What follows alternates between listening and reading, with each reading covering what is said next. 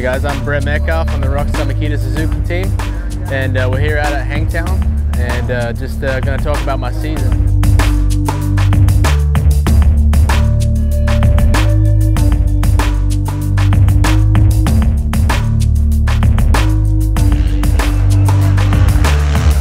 Well, my Supercross season this year uh, got cut short halfway through. I picked up an injury um, at the Atlanta round with the big crash there. And, you know, up to that point, everything was going pretty well. I was starting to get confident out there and comfortable. And, um, you know, just unfortunately, those things happen in racing and missed the last half of the season. So it was a little bummer. Um, injured my wrist uh, pretty good, which took me out.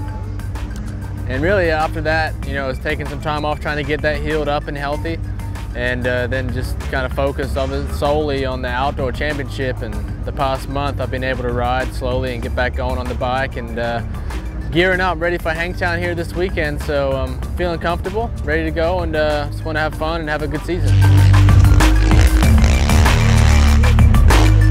Uh, last year, in 2010, I was able to finish second uh, overall in the championship.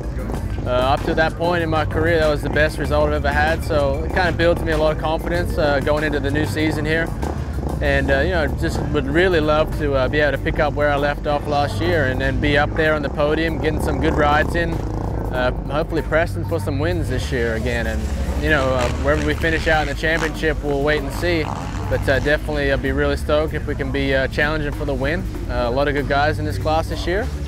But uh, I just want to be one of those guys up there each weekend, be consistent, um, take good points every weekend. This year, the whole Rockstar Makita Suzuki team uh, switching over uh, really made that move um, with outdoors in mind. Um, strong team outdoors and uh, knew the bike was obviously competitive last year, racing Ryan. Uh, Dungey, my teammate now, uh, last year I could see the bike was good and so this year, you know, really looking forward to it with the new team. Everyone's working well together, and of course, me and Dungey are uh, teammates, so I think we've got a strong team, and I think we're able to work together a little bit to, uh, whether it's working on the tracks, getting the bike dialed in for each track, and kind of share our information a little bit. Um, but overall, the team's been awesome for me, so uh, looking forward to getting started and uh, progress as we go through the championship and get better each weekend. My expectations for uh, 2011 outdoors is really to try and duplicate and do better than what I did last year. Um, and that means going for the win this year. So uh, just trying to find ways each weekend to be up there and, and try and be in the hunt for podium rides every weekend is going to be very difficult this year.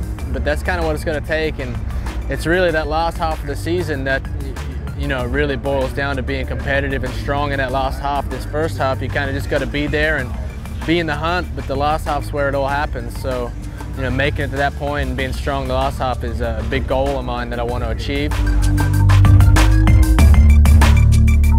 This uh, new championship, obviously this year I moved over to the Rockstar Makita Suzuki team and obviously it's a new thing for me. I really have a lot of new um, outlooks for me. I got the Thor Racing, you know, Parts Unlimited, Scott goggles, Alpinestars boots, um, DonJoy knee braces, everyone's uh, backing me. So, you know, definitely can't wait to get out there and and uh, do well for all my sponsors as well as myself. And and uh, you know, missing the half of Supercross kind of hurt.